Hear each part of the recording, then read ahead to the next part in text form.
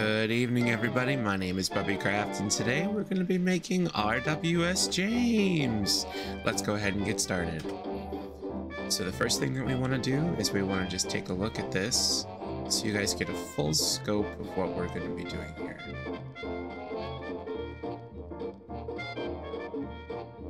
And we're going to be making James, you might think, he kind of looks like Edward. Yeah, you're right. He kind of looks like Edward. But we're going to be doing things in such a way where it's not going to be Edward. And we're just going to go ahead and grab a couple of different things here. We're going to grab a casing. We're going to grab a copycat slab. And let's grab ourselves a red locometal. A little bit of the brass wrapped. And a little bit of the just regular red slashed. We'll also need to grab a copycat step as we're going to make that step um, step slab combination, whatever you want to call it. But anyway, we're going to start with opening our engine and we're going to grab a single axle. We want a very specific single axle and this one is going to be from Extended Bogeys.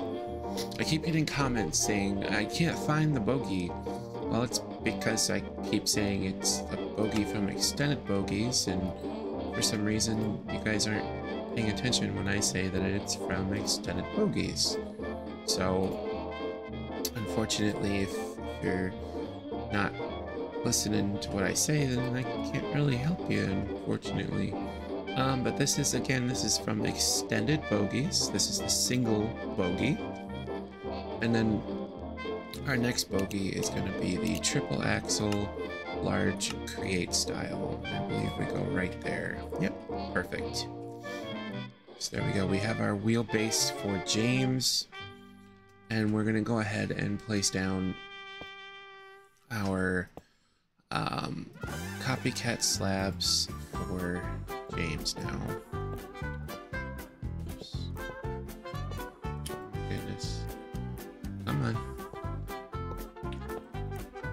Basically what we're doing is we're just surrounding our wheelbase. We're doing a line of one, two, three, four, five, six, seven by three for the main locomotive. Then we're gonna just come in here and grab this. We want a deepslate tile on the background, or on the back there, just a set of three. These three are also going to be deepslate tiles, and then I believe the rest of the tender is also going to be deepslate. So our tender is going to go back three, four, five. So you'll make yourself a five by three for the tender. And then we're gonna go ahead and grab hold of a triple axle. And then it's gonna be the medium 060 tender placing that down just like so.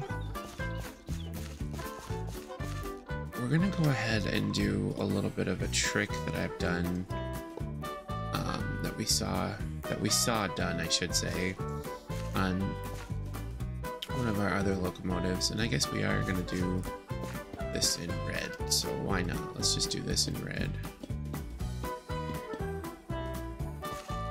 I think yeah, you know what? Actually, no, we're not going to do that trick. I was going to suggest putting the deepslate tile stairs, um, or deepslate stairs, whatever you want to call them, underneath. You know what? Let's just try it real quick. Deepslate tile stairs. Let's grab these. That actually might look pretty good, but I kind of like it. I kind of like it without them. So you can do what we did on the other builds where we did the deepslate tile stairs underneath the tender. We did those for Gordon, we did those for Henry. It's just a thing that you can do. But me personally, I like the way it looks without that. And then I'm gonna just place down the, what you call it here, the headstocks, the copycat headstocks on either side. And then that's going to be our tender skirt for James. Perfect. Now what we want to do is we want to grab ourselves a copycat panel. We might as well just finish the finish the tender because why not?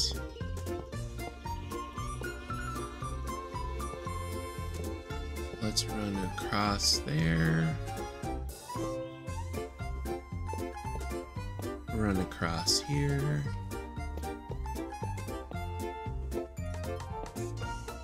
And then run across here. Perfect.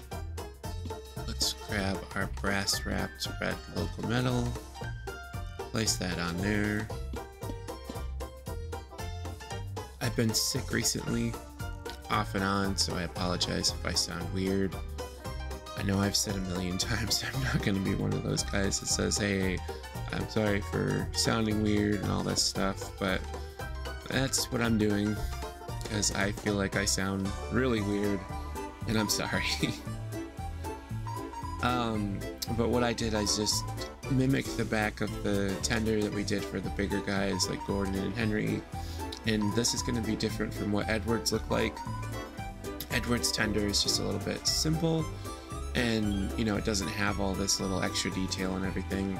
James is a he's a passenger engine as well as a freight engine so he needs to look a little bit different and he needs to look a little bit more regal at times a little bit more sophisticated. So we've given i've given him a little bit more of a sophisticated look on the tender. And i'm going to go ahead and grab a hold of some copycat layers and some coal.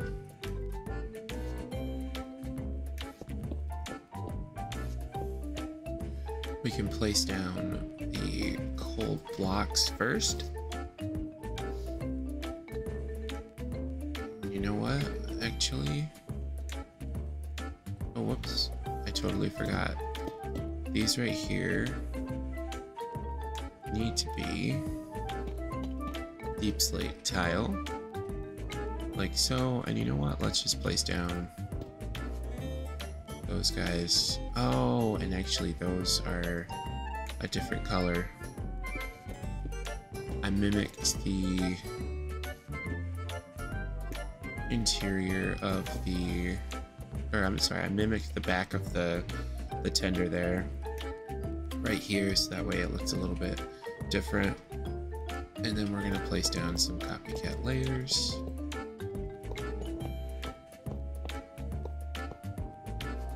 And just give yourself a little bit of a coal layer. It's a tender, everything's gonna kind of swoop forward or slope forward rather. So the back layers need to be taller than the middle layers and so on.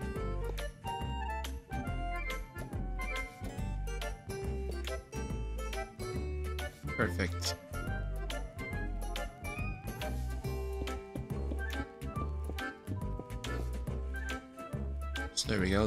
Coal pile.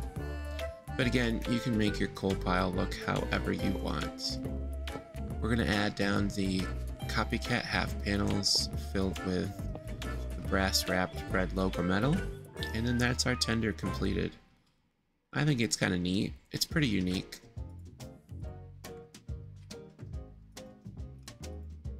Let's get rid of some of that stuff. Fill our palette back up with what we need and we're going to go ahead and place down a temporary um, panel to be able to go like that. And then we want to grab a brass wrapped locometal, place that on either side. So I guess you could do the brass wrapped locometal first and then do the Wait, actually, no, you don't need to put that there. You need to put that there. Oh my goodness. And while we're at it, let's just fill these in. Jeez Louise. We're gonna fill in these back couple with the red slashed locometal. Fill in our panels with the brass wrapped locometal. And then I'm to place down some temporary temporary blocks and grab a copycat half panel. And that copycat half panel is going to go like so. And then I'm going to get rid of the temporaries and fill those half panels with the brass wrap locometal. That's going to give you James's kind of distinct, I guess we'll call it, shape to his cab. On the back side here, we're going to just place down a couple of copycat slices and fill those slices with the red slash locometal. Perfect.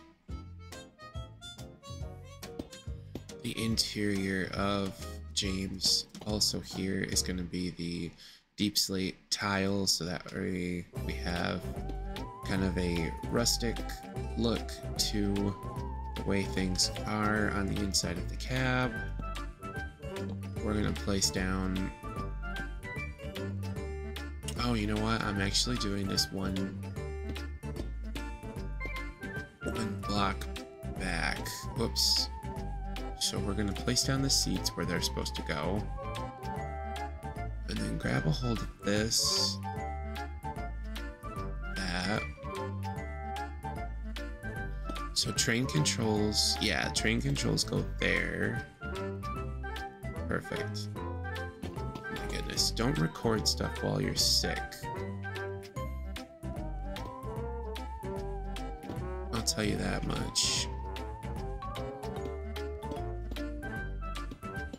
There. Perfect. So go like this, go like this, and then let's grab our brass wrap locometal, temporary blocks, place down our um, half panels, get rid of those guys, fill them in as such, placing down our copycat slices right there, and right there, filling them with the red locometal. We're going to place a temporary block right here. Back in here. Grab that. Wait, is that a panel? That is a panel. What's behind the panel? Oh! Okay, so we're to place the fluid tank and the whistle on top of the fluid tank. And then we'll place a panel right there.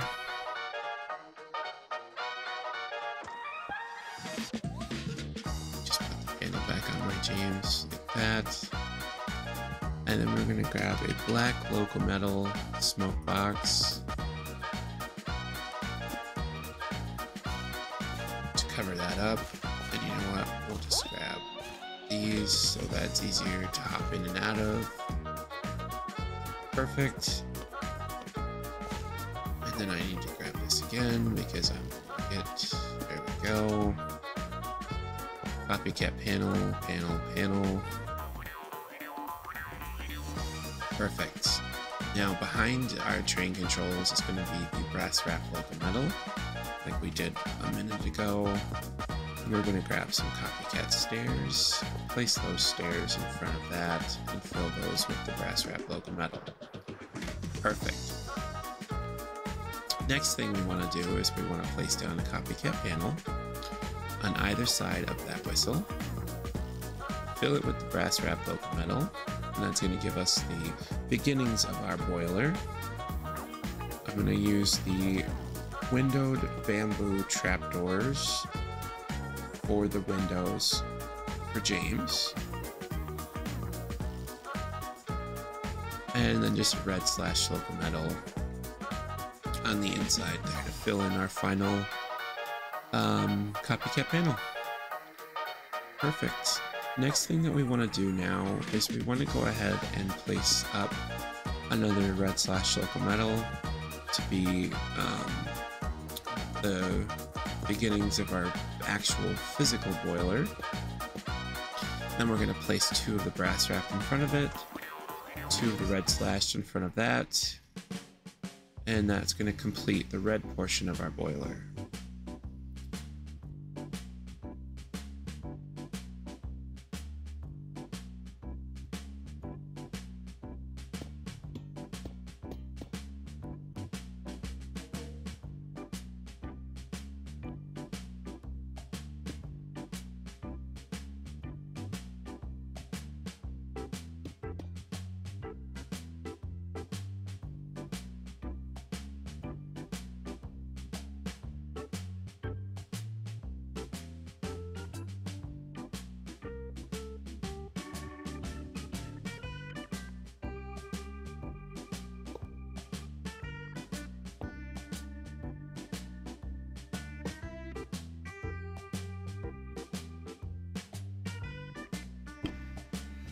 Here's a tip.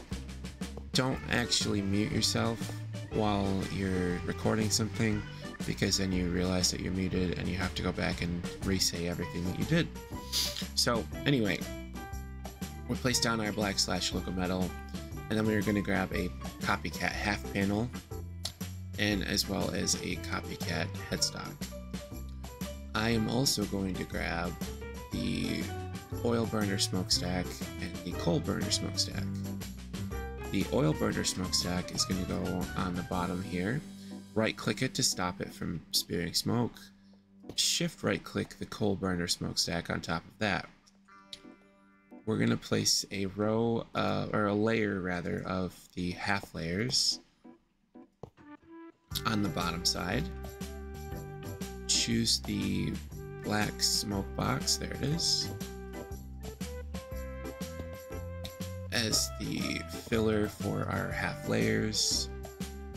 And then the, whoops, shift click the headstocks onto the coal burner smokestack to give yourself the um, rest of the smoke box filled in. Like so. Next thing we're going to do is we're going to place copycat steps alongside um, along the side of our boiler. And that's going to give the protrusion look, if you will. Now, I did I did this a couple of different ways on James just to kind of show you, but now that I'm actually seeing this, I kind of like it better the way I'm doing it here. So you can choose to do copycat panels to protrude out the sides of the boiler here. And you know what, actually, that actually does look a little bit better in my opinion. Because why would there be um, a puff to the boiler running along there? I, you know, just the things that you think of while you're doing things. So we're going to place a copycat panel alongside right here. Fill those with the red locometal. Fill those two there with the brass wrapped. And then those two there with the red slashed. Next thing we're going to do is we're going to just grab another whistle and extend that whistle up just a little bit more and we're going to grab a copycat beam, place that down right in the middle of our brass wrapped portion of the boiler and fill it with brass, or a block of brass to be more specific. Our final step, as we do always, is going to be grabbing some copycat layers and a copycat slice to finish things off with our roof.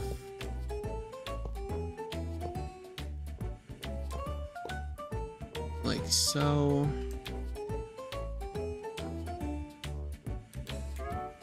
Oh, come on. There we go.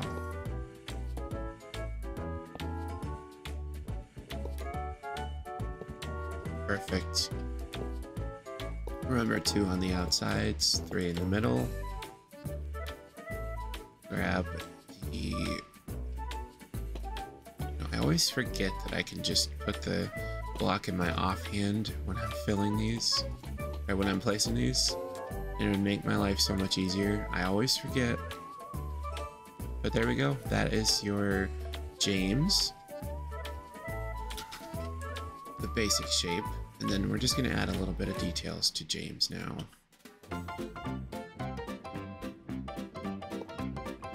So we've got here our couplers. Like so.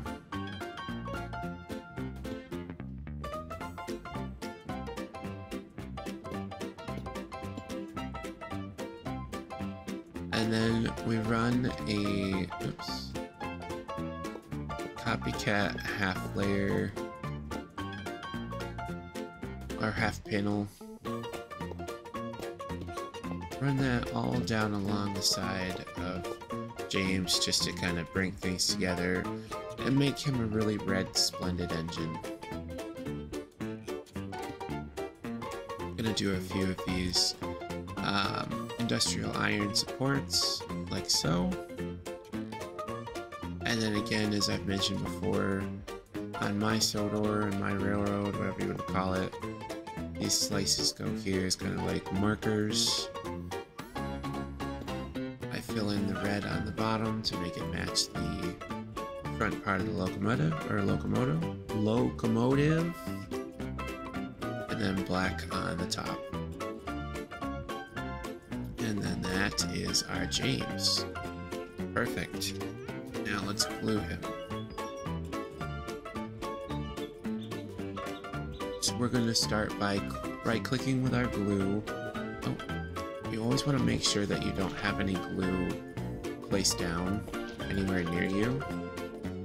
For some reason, I have a ton of glue on the track. So always make sure that your leftover glue is gone. We're going to right click the copycat slice there and bring our glue over to this copycat slice right here like so we're gonna grab a temporary block. Place two temporary blocks right there. Right click that temporary block. And come down to this headstock right there. And now you have two separate distinct uh, sections of your locomotive. And James is able to be glued together. So there we go. Now, there are a couple of different things that you can do to, you know, if you're thinking that the red doesn't actually look red, I was actually able to track down a texture pack that makes the red locomotive look red. I can't link it, it's not mine, so don't ask me for it. Um, but if you have the means of tracking things down, then track it down yourself. But there are ways to make James more red. And honestly, I think it's kind of cool. Um, by making James more red, it accentuates the red colors of all of the locomotives. So all of the red parts that we've used on all of the other locomotives are that much redder, that much more pronounced, and that sort of thing. And it apparently messed with the textures here in other places. So this is what it looks like with shaders.